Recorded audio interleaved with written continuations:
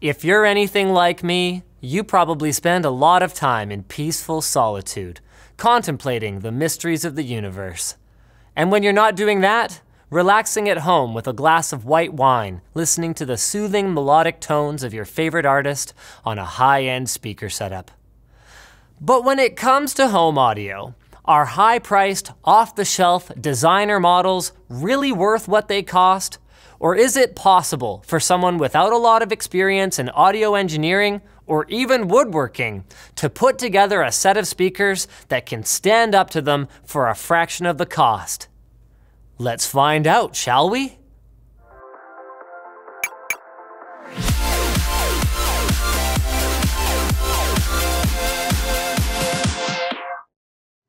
TunnelBear is the simple VPN app that makes it easy to browse privately and enjoy a more open internet. To try TunnelBear for free, check out the link in the video description. We set out to build a set of Tritrix MTM TL speakers that we bought from PartsExpress.com. This kit is one of the simpler ones and often recommended for people just getting into DIY audio, and it checks off a couple of key boxes for us, promising high audio fidelity at a relatively low cost. And while it's too early to say much about sound quality, the cost comparison looks pretty good. By building our own cabinets rather than buying prefabbed ones, we shaved almost $100 off the price, even after accounting for buying our own construction materials and renting the tools we didn't have, making our total cost around a quarter of what I paid for the KEF Q500s in my home theater that we're going to compare against. So let's get started. Our cabinet is slightly different from the one that would be supplied by Parts Express, as we ended up adopting some modifications suggested by RegalianOx.com. If you're interested in reading about his experience building the same speaker set and a more in-depth guide to construction, check out the link below. We built both speakers out of one 4x8 sheet of MDF board cut into 2x4 strips for ease of transportation. We first marked out all the pieces we intended to get out of each sheet, then cut them with a combination of the table and circular saw. A good carpenter will tell you, measure twice, cut once. And while that's undeniably great advice, here in the studio, we tend to follow the cut, pray, love, then keep on cutting philosophy that I learned from that doctor that I used to visit back when I wasn't covered by the company health plan I don't know if I'm gonna let Tyler write these scripts anymore. Anyway, once we cut all of these, we needed to put holes for the woofers and tweeters in the cut of wood that will be the front of the speaker.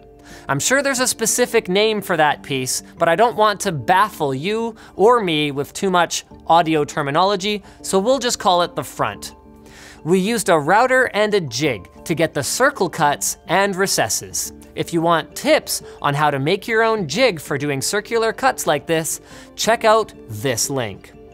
With all our pieces ready, it's time to stick them together. We want to leave one side off the cabinet for now, so that we still have access to do all of our wiring. Pro tip, it's very important to drill pilot holes, which we totally nailed, and to use cabinet screws with countersunk holes in the first place so you don't have to go back and redo them to end up with a more clean look. With our cabinet fully constructed, the next stage is to put together our crossover. The crossover is the part of your sound system that takes the single input signal coming from your stereo, computer, TV, or what have you, and that breaks it up into multiple output signals containing different frequency bands that are then sent to the specialized loudspeakers best equipped to handle them. Our Tritrix kit contains two woofers and one tweeter, Woofers handle lower audio frequencies, while tweeters are designed to handle the higher end of the spectrum. You can learn more about this here. The Tritrix uses a second order crossover, which means it uses a double filter to separate out the frequencies. One to the woofers and one to the tweeter. When building a crossover with multiple inductors, it's important to set them up so the inductors don't talk to each other. This has nothing to do with our constant fear of a machine uprising by allowing electronics to communicate. but rather to do with preventing the two coils from creating mutual inductance by being orientated in the same direction. In order to avoid that, we're going to lay one horizontally and the other one up vertically.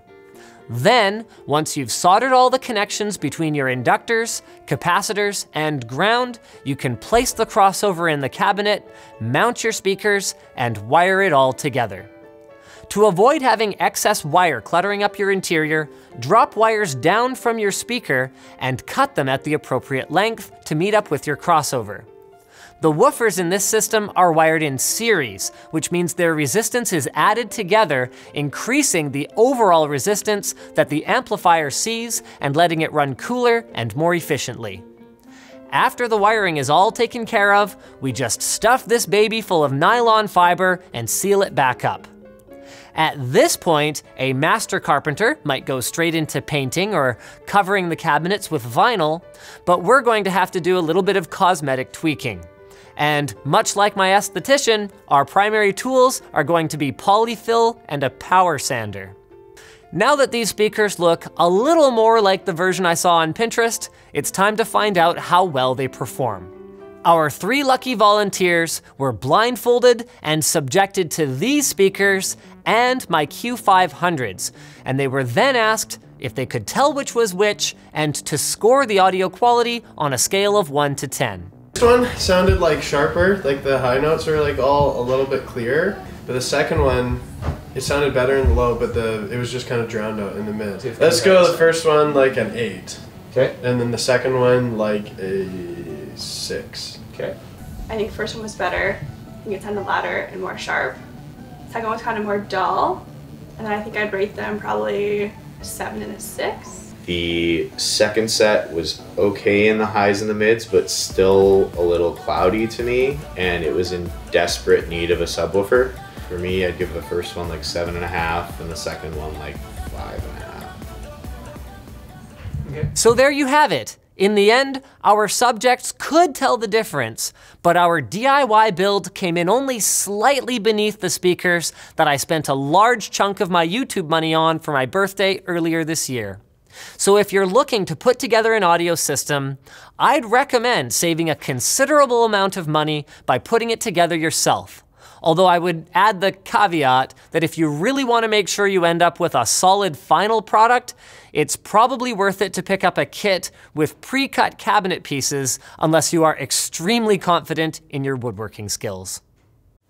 Just like how if you're not 100% confident in your website making from scratch spills, you can use Squarespace. Squarespace has 24-7 support via live chat and email. It's only 12 bucks a month. You get a free domain if you buy Squarespace for the year.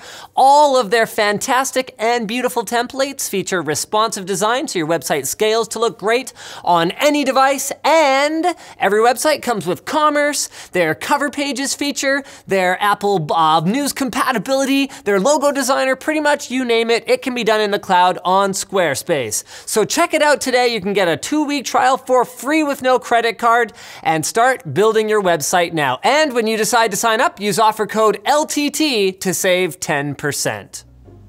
So thanks for watching, guys. If this video sucked, you know what to do. But if you liked it, hit the like button, get subscribed, check out the link to where to buy DIY speaker supplies on Amazon in the video description. Also check out our merch store, check out our community forum, which is awesome. And if you wanna go up here, you can check out our latest video over on Channel Super Fun.